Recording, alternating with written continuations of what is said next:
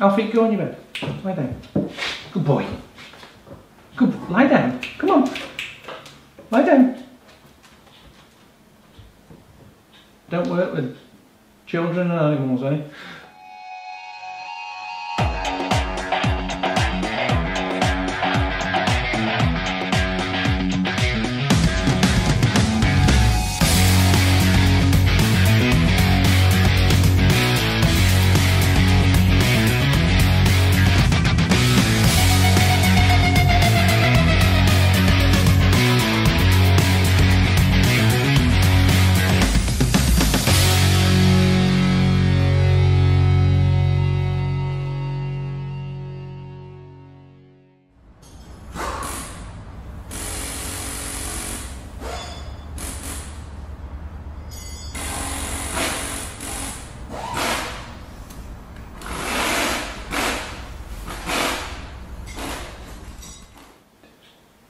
Hi everyone, welcome back to Raptors Garage. As you can tell, not in the garage, in the kitchen. Now, um, we're all on lockdown and can't do a lot, so I thought what I'd do is do a little bit of an unboxing video, uh, basically just to fill my time up because I'm a bit bored at the moment. Um, so I thought I'd open some of the boxes that we've had uh, sent to us from different places, and this one's from Fourby, from Neil actually. And this is the USB um, like USB charger unit that goes in your centre console.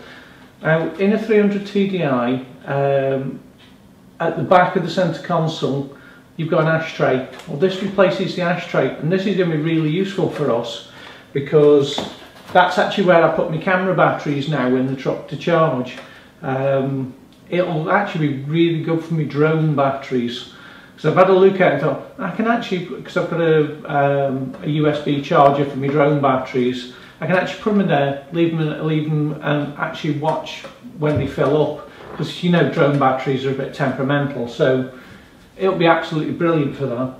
But uh, what you get in the box when you actually get it is, the first thing is a QR code. Now that's got your instructions there's a couple of screws in there for assembly, but it says this is your instructions. Get the QR code and uh, read it and that'll give you all your instructions that you need.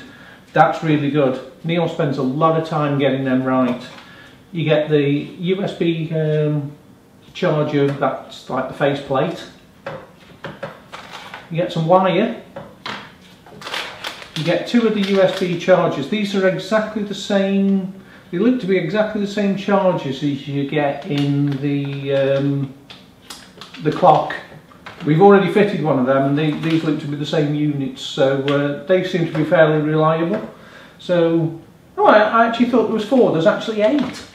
So there's four in each. Right, so you get eight USB chargers. You get the uh, Haribo, which is brilliant. You get a sticker for your truck. You get a card I've now got hundreds of these. They're everywhere. Uh, and you get cable tie for assembly. So that's everything you get in the box. But like I say, first thing you do, get the QR, get the QR code, which is what I'm going to do, and I'm going to have a look at the instructions while I pull my truck out, uh, and we're going to fit that. Oh, before I forget, it's the new shirts. These are the new shirts you can get on our uh, on our shop. These are the Raptors Garage shirts. If you want a shirt, go over there, grab yourself a shirt. That'd help us out immensely. But right, I'm going to pull my truck out. And just before I go and pull my truck out, have a look at that. He's been asleep all night and he's, at, he's woken up that tired, he's got to go back bed. He's bought all his toys and he's on bed. Yeah, you. I'm talking about you. Well, I've just pulled the truck out of the garage, but before we go out to the truck, I'm going to assemble this. Now, before I said you could pull up the information on your phone with the QR code, you can. You can also just pull it up from Fourby's website as well, which is what I've done. I've just put it on the laptop here. So I've got all the instructions in front of me uh, what's in the pack, what you need to assemble it, you need Allen key, set aside cutters, so set of wire cutters, I bought some side cutters as well, some Allen keys, screwdriver, tape measure and a knife. So uh, that's what they say you need to do it. Tape measure or ruler, whatever. But uh, it's really simple. Um, get screws out, which are over there. Still got the screws here. Get the screws out. You want that bit to start with. I'm not going to actually show you how to assemble this guys because these instructions are so simple. So I'm just going to assemble it. I'll leave the camera running while I do it. But yeah, the uh,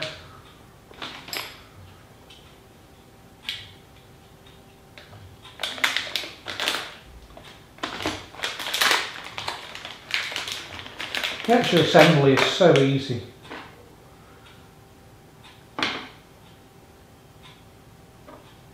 Should we put it in the right way round? That would help. These just snap into place according to this. Uh, these, these instructions are great. They are really simple. If I can follow them, they're simple. Well, I'm simple, so. If you can cut four wires and do two screws, you can assemble this.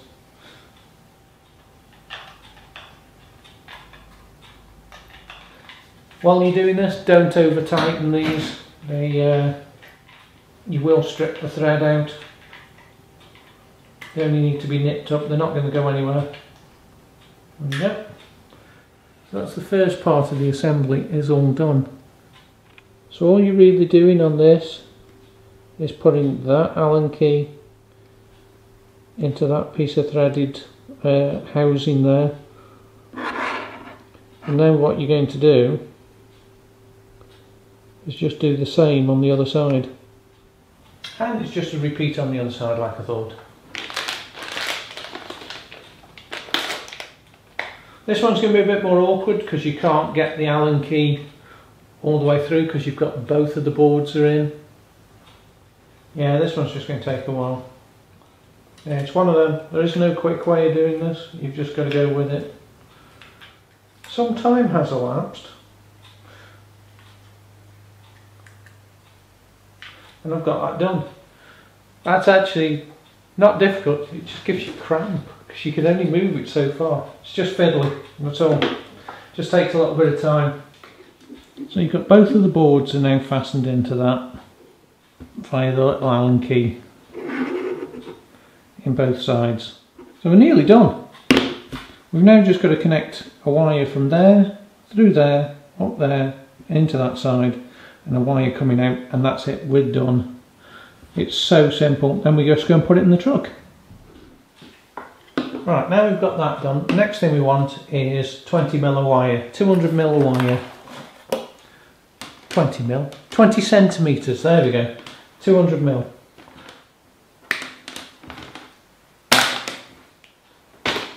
Yeah, the instruction is really good. Tells you how much of this to cut off and how much of this you need to strip.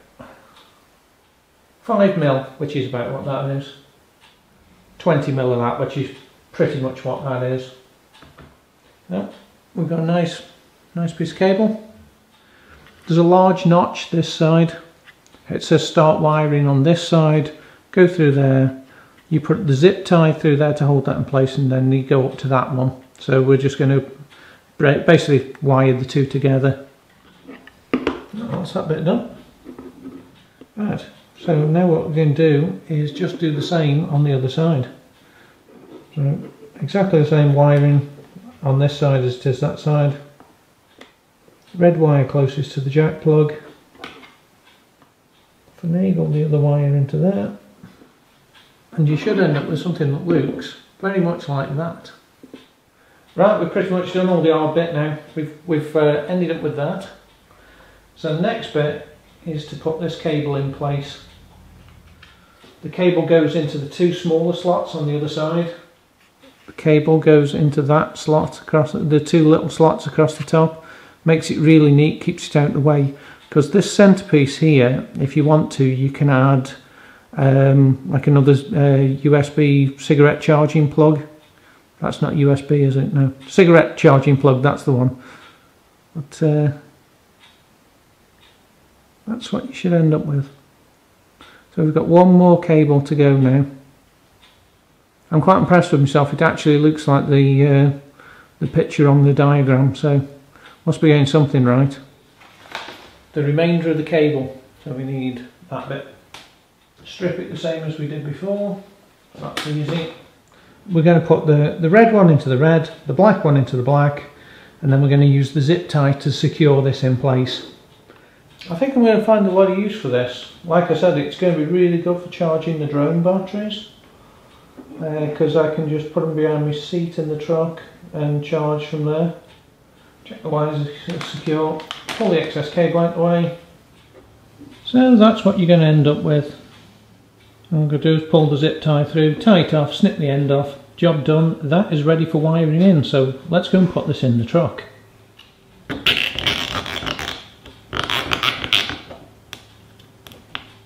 We have one of those now. Let's go and get that in the truck. Right, well we're out at the truck now and uh, I've just whipped the seats out because it's going to be easier to work on. Because uh, I've got no back doors anymore I actually can't get in to do this so I've just pulled the seats out. So first thing we need to do is I'm just going to pull this uh, centre console out. It should be dead easy. As far as I can remember it's like two screws in there and there's a couple up at the front. So um, and it just slides out. So I'll get that out. Oh, you have to take the switches out as well.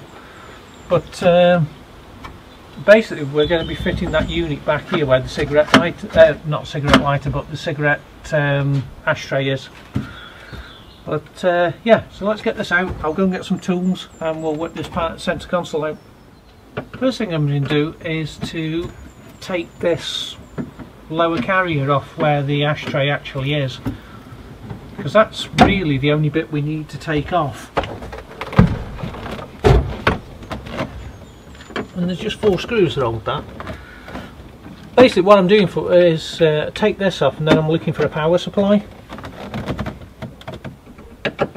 Ideally I want to get to the cigarette lighter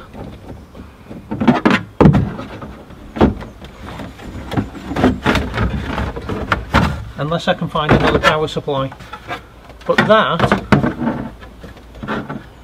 is where we're going to be putting the new unit because that just comes out. And I'll show you that in a minute. And we'll look for a power supply. Mm. I have the world of disconnected wires under there because I had all the wire, like the rear door switches and stuff. So I'm just going to stick my meter in there because I might be able to just piggyback a, uh, a live off something else. But uh, ideally, I want to get to this cigarette lighter. Let's pull this out anyway. Ah, while I was at it, I just whipped the centre console out. It was quicker than messing around looking for a power supply. I know I've definitely got one there uh, that I can rob off the cigarette lighter. I needed to put the light back in because I had fell out of the cigarette lighter. Not that I actually use it for a cigarette lighter, I use it for powering the uh, sat nav. But uh, yeah, so I'm going to just check these other ones, see if I've got any lives hiding around in there. I could do with giving that hoover out at the same time. In fact, I could do with the, the whole truck could do with a bit of hoovering out. So uh, while I look at that, I'm going to see what I can rob a power supply off. It's amazing how much crap has accumulated under here with the, you know, with cutting the roof off twice. Right, so I know I've got 12 volts there. Let me have a look if I've got 12 volts back here from the wiring that I no longer need. Right, so that's 12 volt ignition. That's weird. Would have thought one of those would have been had power in it. Oh, that's a crappy set of tether, or none of those have got power in it. Now there's going to be plenty of juice in that one because that's going to be powering the one of the rear windows. Now is that permanent or ignition? Yeah, that's an ignition. Right, well, we can rob, we can piggyback off that because we haven't got any rear windows anymore. So, so be either of those two. They'll be the same power figure. I would have thought. Right, so we can put all that back in and we can go straight off one of those. at least I've cleaned it up under here so and I get to put that back in. I need to repair that as well. Right let's put all this back together and we know where we're getting the power from now and I get to tidy all this up at the same time. And fitting this uh, new unit couldn't be any easier. Knock the ashtray out. Check if there's any money in it. No there isn't what's new and pop your new unit in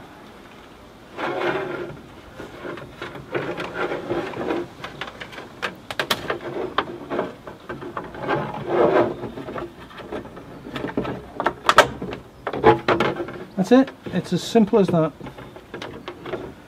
And you should end up with something that looks like that. That's nice. I said I can put loads of multiple USB chargers on that now. And I found a power supply which is uh, one of the old window motor power, uh, power supplies. So that's going to have plenty of power coming through it because they're big thick cables so they're like 30 amp at least 20 for the rear windows so that's going to be more than enough for that so I'm just going to put a couple of connectors on that just put a couple of connectors on that end I'll leave the cable uh, that length and I'll just plug this in put it back in I'll show you what it looks like when it's finished. Oh, I'll see if it charges my phone.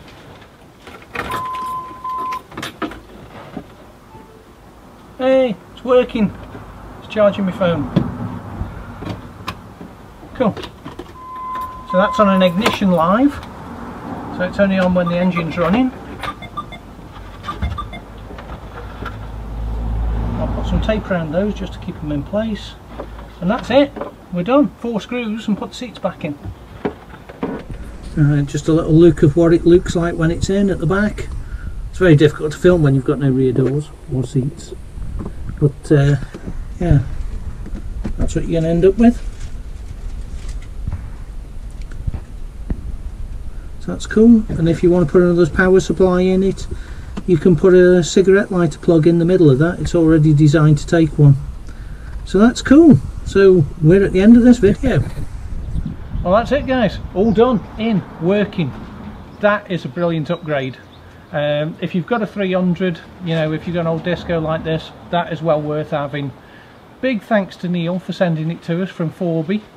Um, go over and check uh, Fourby's website out. there. I've got loads of stuff, not just stuff for 300 uh, discos. They've got it for defenders and all sorts of stuff. Go and check out their shop. It's well worth uh, a look. They've got stuff for overlanding, tools, you name it. There's everything on there. You can spend hours just browsing through their website. And while you're browsing through their website, go over to ours and uh, have a look what we've got. We've got these nice new shirts. These look cool. Uh, and we've got the stickers over there. So you know go and check that out. Get yourself some stickers. It'd help us out anyway. But thanks for watching guys. Hope you enjoyed the video and I will see you on the next one